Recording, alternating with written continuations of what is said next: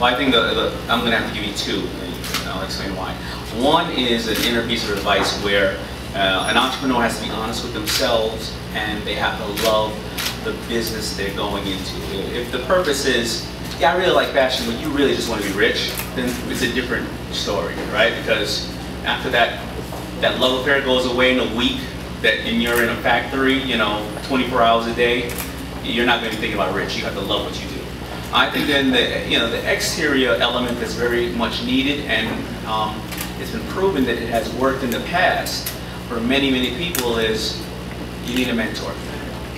Uh, most entrepreneurs that are successful can attribute it to one or many mentors uh, within their, their history. And that mentor shouldn't be somebody at the beginning who hasn't invested in your business. It should be a traditional mentor. And where they make a lot of mistakes is they try to go out, entrepreneurs try to go after these huge mentors they see on TV or things of that nature when I always say, if somebody's run a, a store or a business in your neighborhood for the last 20 years and they have not shut the door, it takes the same energy to do that as it does to run Ford or General Mills, and that person can teach you ups and business. So those are the two things.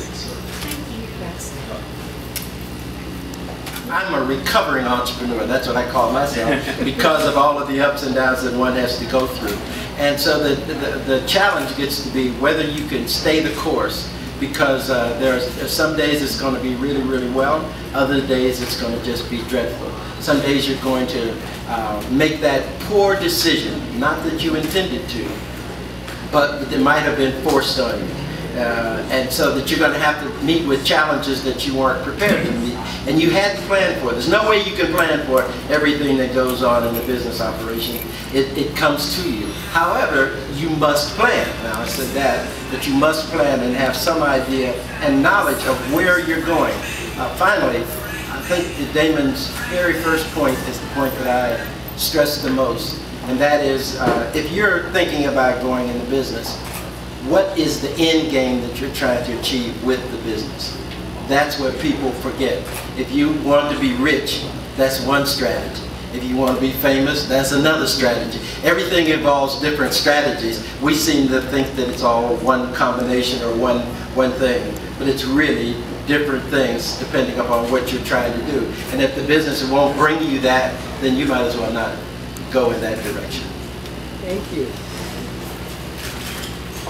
staying up to date with the latest advancements in cloud internet security.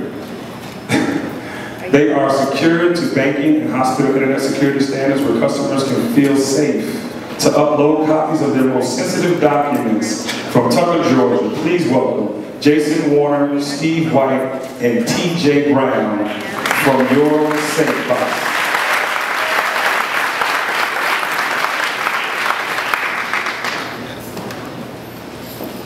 Thank you all for having us out. My name is Jason Warner. I'm the CEO and co-founder of Your Safe Box. With me, I have Steve, Steve White. Excuse me, Steve White. He's our co-founder and chief security officer. And I have Theodore Brown, who's other co-founder and chief technology officer.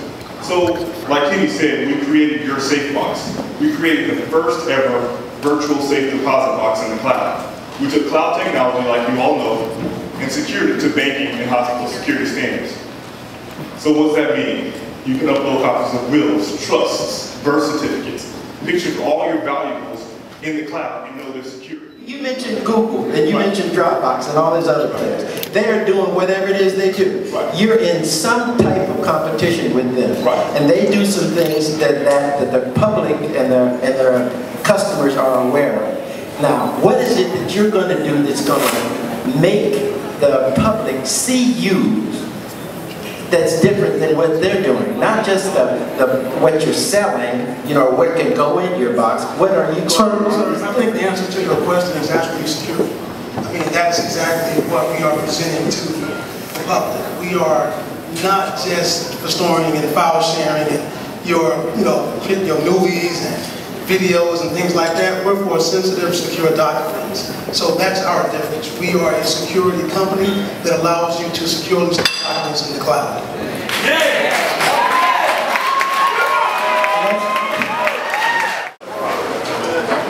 What's up, Nice to see you again. Uh, thank you. Yeah, appreciate that. Uh, this is my first time back since uh, my first day in college in Morehouse. Funny story is I actually tried to get him even to the opera microphone.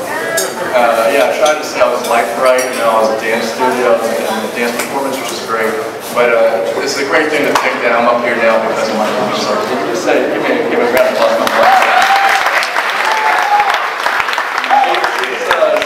I'm up here. Uh, I didn't believe myself and she believed in me, so that's uh, that's what family's all about, though. Food and uh, family. Uh, but yeah, we uh, we created Dollars and Brew Bread. I was in my third stint in college. Actually, I've been to three colleges in the Air Force, and my family taught me resiliency. I learned from them. Uh, they started their own businesses, entrepreneurs, and I learned through watching them. And my mom taught me something, which was when you want to learn, just do it. So I told my mom, we got together for lunch and we always do, discussing over food, that I wanted to start a business. And what she offered to me was not only her expertise, her wisdom, but she offered me a recipe. And it was a beer recipe. Now, I've tasted this before, and I love my mom's cooking. I mean, it's incredible. But like, mama cooks the best, right? And I'm 23, I don't know how to cook that well. I know mac and cheese, but that's about it. So, when she, uh, when she presented this, I was like, that's a great trend, that's a great idea. And we got together and we created Sober She'll show you how we made this. Um, Thank you. Sober Dough is a line of artisan beer mixes, and the best part about it is it only takes one ingredient, which is a bottle of beer. Tonight we have Miller Lite, and it takes absolutely no baking skills, which is the great part about it. So to make it, all you're going to do is take one of our mixes, and you're just going to dump the mix into the bowl.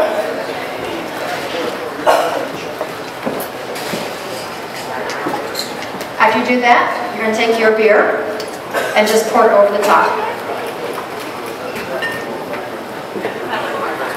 Like that, it's going to foam up, and that's the wonderful part about the beer. It's like the magic ingredient. Then you just stir it all together until all the mix is mixed into the beer. And then once that is done, what you're going to do is you're just going to put it right into your red loaf pan, and you're going to bake for 45 minutes in the oven. That's all you have to do, that's, that's it. Absolutely no baking skills required, and it does make a perfect loaf of bread. So I've got some samples for judges. The greatest thing too is that uh, you can use. So the more flavor in the beer, the more you're going to taste the bread. For me personally, I like a stout with simple raisins, so it really allows you to kind of express yourself in the bread. You create something that uh, creates a community, but also allows you to be competitive.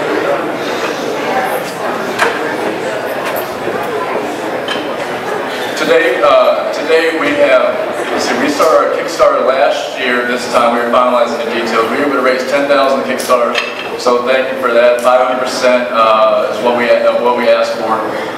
We also were self-funded and we started a business all sustainable, no debt, which is great. Uh, today we are in 56 stores across 15 states in Canada, three provinces, and last week we got into Whole Foods, so we officially launched there. Yeah. Actually, today, uh, yeah, today we were able to. Oh yeah, the, the different I'm flavors. sorry, I have to interject something really quick. The flavors I just passed out to the judges, are available. They range from the classic, the honey wheat, cinnamon raisin, buffalo wing, uh, green chili cheddar, roasted garlic, and rosemary. This crew employ, uh, employs top-tier college students to provide moving services in 121 cities across the country. For thousands of students, Bellhops provides access to a nationwide fleet of moving trucks and fully integrated online management systems for small-scale moving. From Chattanooga, Tennessee, ladies and gentlemen, please welcome Trip Stanford, Cameron Doody, and Stephen Vallejos of Bellhops. What's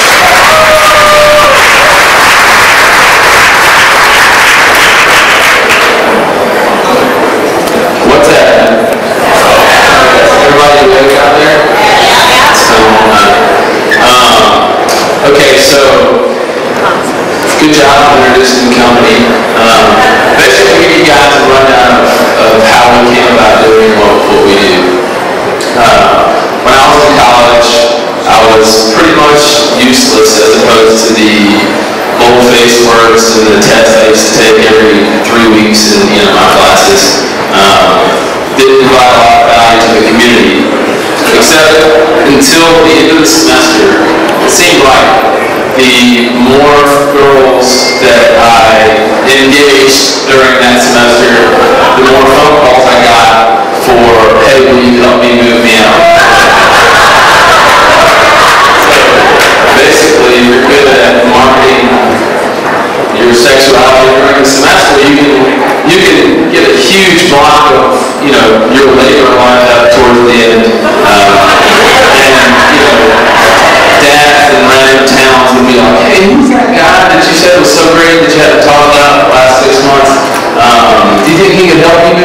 instead of instead of me driving down from where I'm from? So basically, I, I realized, got over my ego and realized that I wasn't the best moving help in the entire world. Just that people didn't have access to moving labor unless it was a full service, two a truck, phone book, you know, moving section, and move from this part of town to this part of town. So remember moving all these people, making all this money towards the end of the semester, and saying, you know, realizing that, uh, you know, people needed access to moving help that wasn't a full service moving company. Somebody that doesn't move pianos and china cabinets and, and all that good stuff. So what we did was, me and a friend of mine, Cameron, who was announced,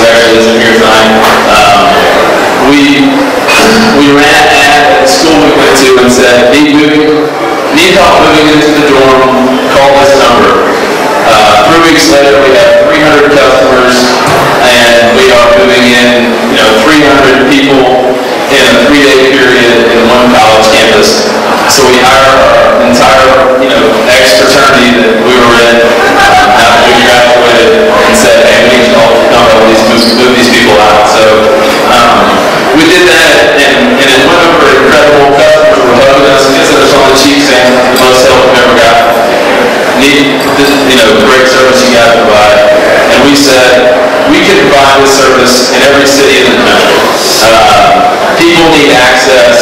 to moving help. These college kids are sitting around playing video games, drinking beer with nothing to do, and I'm moving out of my apartment or out of my box or got a new job or getting married, and I don't want to do it myself, but I don't want to hire a full-service moving company.